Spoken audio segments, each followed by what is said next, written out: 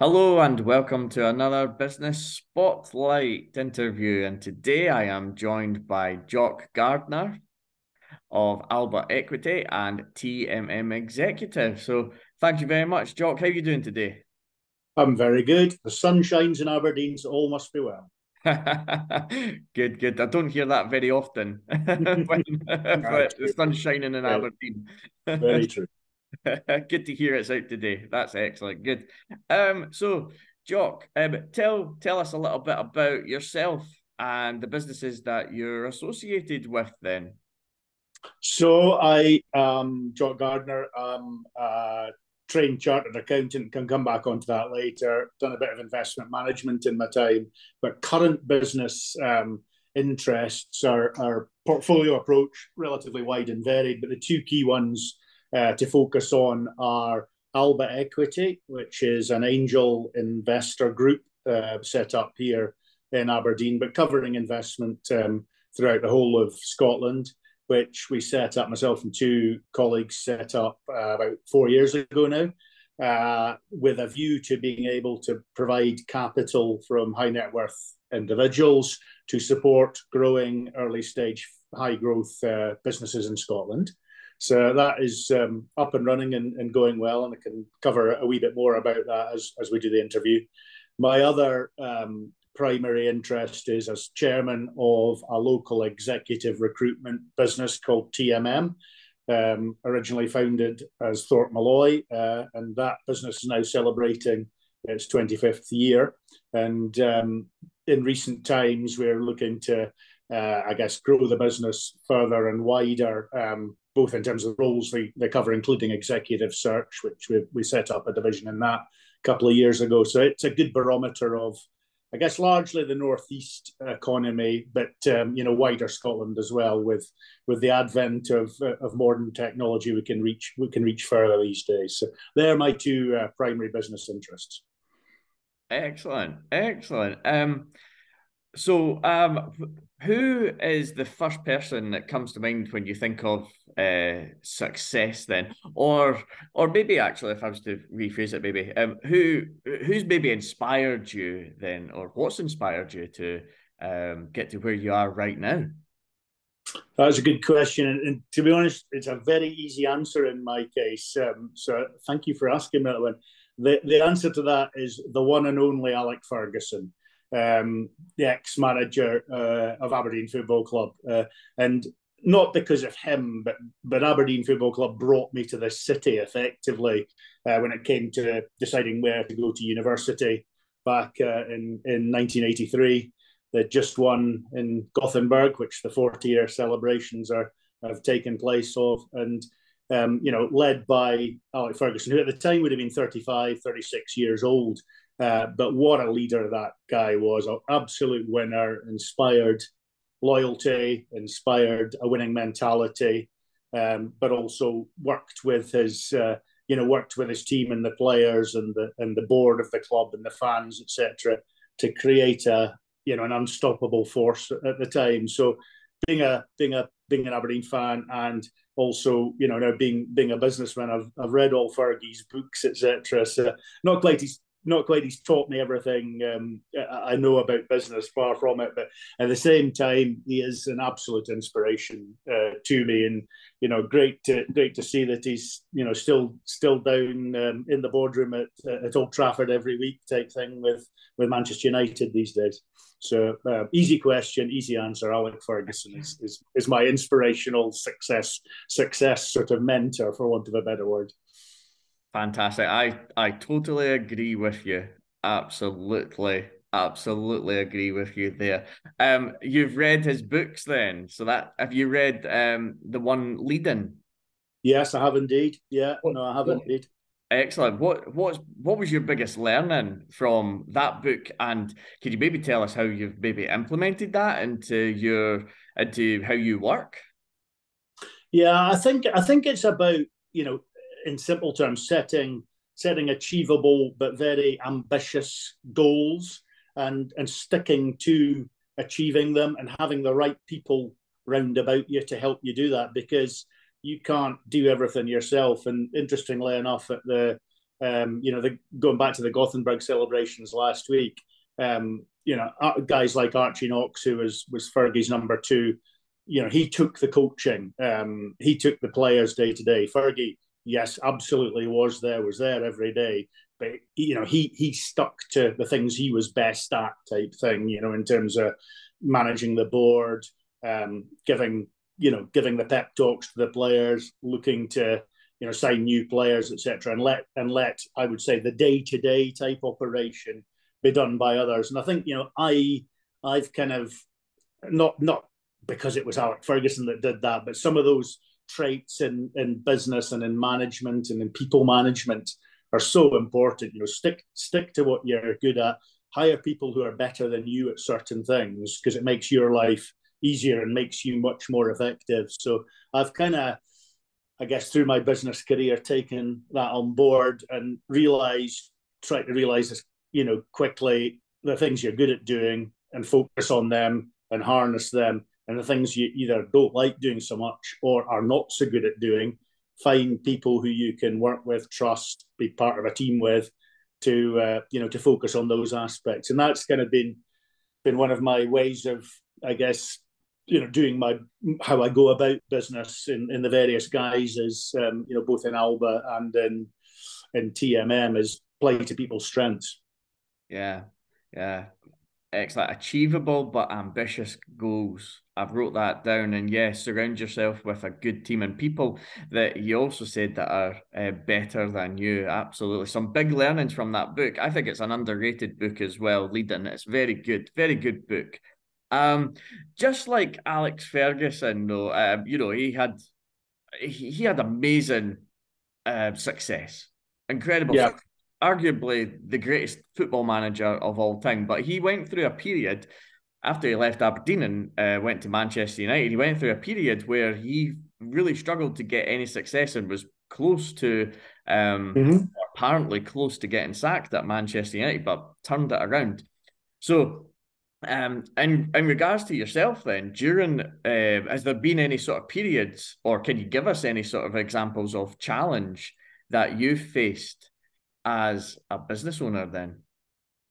Yeah, I think I think you you live and you learn through your career, and you learn an awful lot more from things that haven't gone right um, than than you know from the successes. And whilst it's right to celebrate success, one of the things that um, you know that Fergie always did, and everybody said this about him, was once something had been won, that was it. You move on to the next thing. The cup goes into the cabinet, and you move on to next cup, the next season, etc.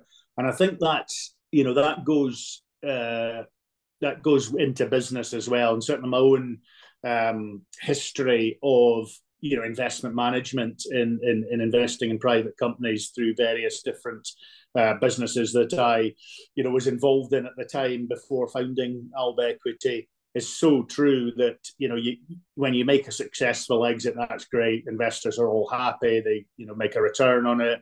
Um, but the reality is you're on to the next one and you're only as good as as the last one etc so the one the, the challenge i think is and the, and the and the area to learn from are when investments don't work out and and they fail which does happen. You're almost you're not doing your job in investment right if you don't get failures because it's a risk it's a risk investment game.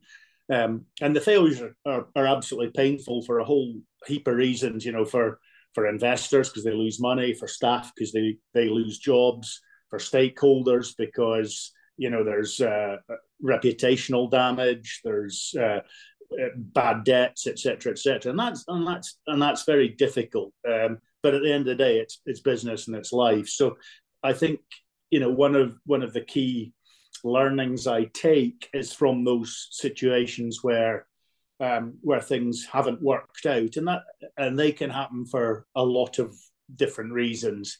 Um, the one area that uh, that is really hard to reconcile um, yourself with, and I find very difficult, is, and it fortunately hasn't happened to me, to me often, but it has happened, is when dishonorable behavior takes place when you, you know you back management teams uh, business plan and if that fails because of market changes or you know situations that are out of control, but people put you know full effort into things, for want of a better word. You can live with that. I mean, it's not nice, but you can live with it. It's when people are dishonorable or dishonest or um, or situations like that, which which can which can and do occur. That becomes very very difficult to handle type thing. And I think lesson lesson learned from all of that, I think, is business is all about people. You might have good technologies, you might have good customers, you might have good business plans, etc. But people make or break businesses. Yeah, yeah. Um, okay, that very interesting there. Uh, you talked about uh, people who might be dishonest or dishonorable. Um, what what sort of strategies or or um, things did you put in place to overcome that kind of challenge? Yeah, no, that and that's a good question. And um, one of the one of the and part of this takes on to the the recruitment um, business, whereby and and and diligence on investing in people and investing in businesses that I'm a great believer in gut feel as a as a general point in in life and in business that you know your your instinct tends to be something you should listen to and something that uh, over time you develop and um, hopefully get a good nous for for judging things. But instinct and gut feel alone need to be supplemented by um, more, I guess, scientific or rigorous due diligence. So combinations of um, you know, diligence by asking as many people around uh, an individual or a, a, business as possible and doing detailed, uh, in-depth, you know, reviews, character references, prior uh, employment, etc., and really digging into that is is one thing. And alongside it, and again, I used to be quite skeptical about this, as as as people will uh, no doubt testify to who listen to this interview about things like um, uh, psychometric testing and and team uh, dynamic testing of of individuals and of um, you know of of teams. But actually, if done properly and done well, these sort of tools can, I think, definitely alleviate risk. And whilst you know, if people, if certain people are going to be fraudsters, for want of a better, word, you can't necessarily detect that from a, a psychometric test but at least if there are signals of certain types of behavior, it does alert you to the probability or possibility of of such behaviors. So um, you know, I think I think that you know detailed assessment and as much digging as possible is is important. And I guess you know, going on to the investment side um, at Alba Equity, where the the types of businesses we and our, our members are investing in are really early stage high risk, but potentially very high growth businesses.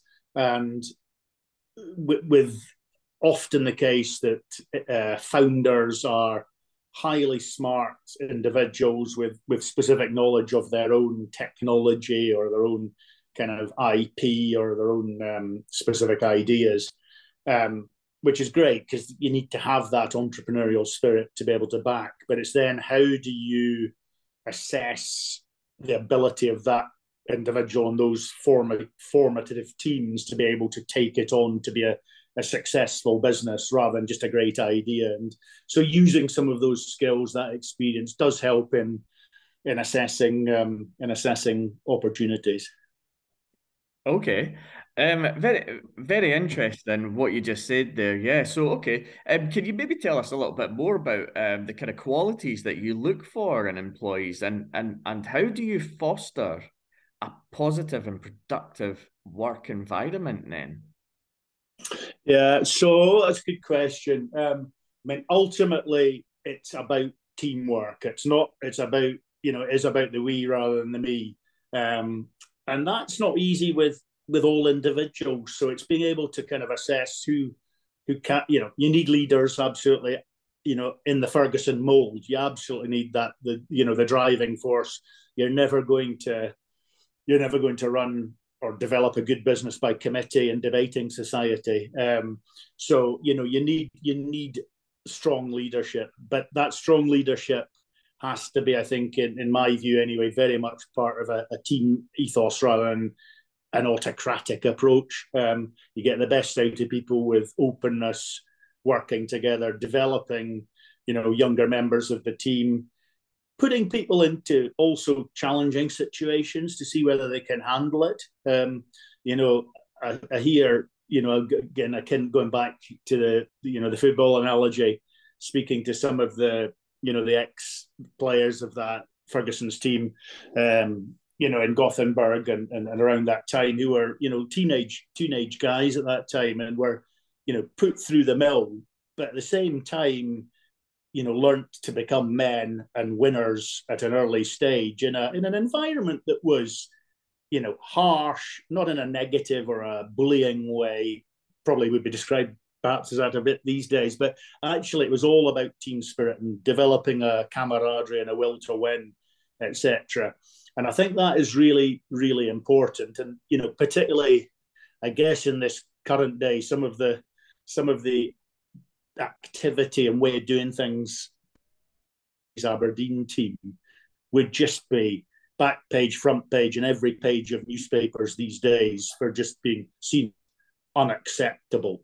And I think you know we've got to be careful in life. The you know without wanting to get into debates on woke society and things like that, but there is an element here of of you know getting in, digging in hard, working hard as a team, and and also successful businesses have that edge to them and and will to win that you're not going to get through oh it's five o'clock we all have to go home now because we've worked, worked seven and a half hours and we're all tired. So let's go to you know to do all the sort of nice things in life and down the down the pens and all that sort of thing. So i think there is that but you, but you do that best by very much an encouraging positive uh, environment that does have you know, winning um, and strong leadership at the top of the tree that filters down to filters down to throughout the team. Yeah, yeah. Uh, I, I, I, I could use the Alex Ferguson analogies all day, and I'm actually going to use one for this question again because even though again he was the infamous um, hair dryer treatment, uh, mm-hmm. but a lot of players that you read these days will say he also put the arm around the shoulder as well if yeah. they needed to talk to anyone or any. Now, have you ever, um, you know, when we were talking about the team and everything, have you ever had to use that approach in in your business life at all? Yeah, I, I'm much better at the supportive arm around the shoulder rather than the the blast furnace or a hair dryer. I think I think it was it became oh, a hair. Sorry, dryer. sorry, I was then sorry, I was going to I was then going to say, um, has it has it then worked? So sorry about that. So yeah. have you used it and then has it worked? Sorry. yeah. So that so that that it was the blast furnace at Pittodrie. It became the hair dryer when Fergie became more refined down at Manchester. Um, so that's not my natural style, and it would only be on uh, you know number of you know one one hand and a couple of fingers to, to do that. It doesn't come naturally uh, to me personally, but but if if wronged, um, or if if uh, you know really lack of effort or whatever, then on occasion I've had to go down that route. I much prefer the arm round the shoulder, the try to explain the, you know, the, not the error of the ways, but okay, this happened but let's pick you up again and find a way to not be the victim. That's important. You know, the the sort of culture of victimhood is is a dangerous one. So you know, I'm against that. Um, so it's how do you how do you support people out of that sort of feelings of you know negativity and and feeling down and etc. to be able to pull them back up and get them back on you know back on the wagon or back on the horse or whatever you call it. So I think round the shoulders a good good way of doing it um, and also recognizing that every individual's different. So some people, you know, might need the boot up the backside to get them going. Other people are a bit more sensitive, so you've got to tailor your approach to different individuals. You've got to tailor it to a one-to-one from a one-to-one approach to a team environment, etc. And I think that's about you know, it's now it's about reading the room, it's about reading individuals, etc., which you only get through experience and uh, working with people to know how to get the best out of them. I think you know. A lot of it can't be taught. A lot of it is instinctive and gut feel, but then you can refine it um, and know and know you know how to use different tools in different ways. Excellent, excellent. Um, thanks, thank you, Jock. Um, I've got one last question for you, all right, and then uh, we'll wrap things up here. And my last question is: is um, if you could uh, go back, maybe even just four years when you first started Alba Equity, yeah. you know, if you could give yourself advice back then, what would mm-hmm. that advice be? That's a good question. Um, jokingly, but true, because I'm. Uh, it's not my forte. Is um, be much more IT savvy.